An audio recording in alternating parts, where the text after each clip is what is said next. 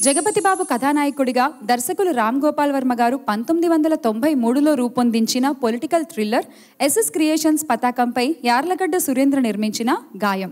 పంతొమ్మిది వందల ఎనభైలో విజయవాడలో జరిగిన రెండు వర్గాల మధ్య ఘర్షణ నేపథ్యంలో మణిరత్నం గారి కథా సహకారంతో రామ్ గోపాల్ వర్మ గారు రూపొందించిన ఈ చిత్రం ఆరు నంది పురస్కారాలను అందుకుంది. తన అన్నను చంపిన వర్గంపై పగ తీర్చుకోవడానికి హింసా మార్గం తొక్కిన దుర్గగా జగపతి బాబు అతడిని ఆ మార్గం నుండి మళ్ళించడానికి నిత్యం తప్పించే జర్నలిస్ట్ చిత్రగా రేవతి అత్యద్భుతంగా నటించారు.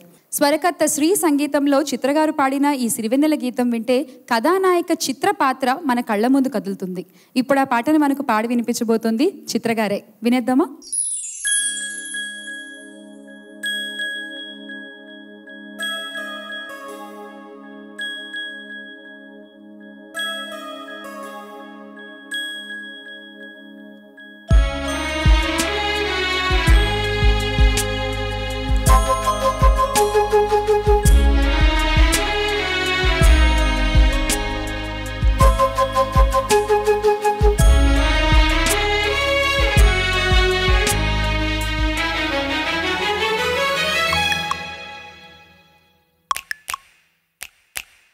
అలుపన్నది ఉందా?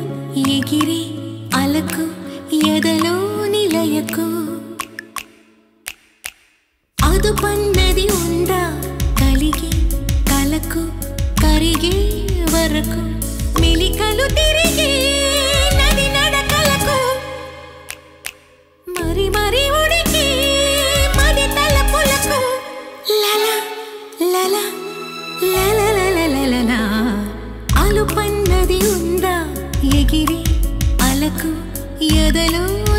నిలయకు అదుపన్నది ఉందా కలిగే కలకు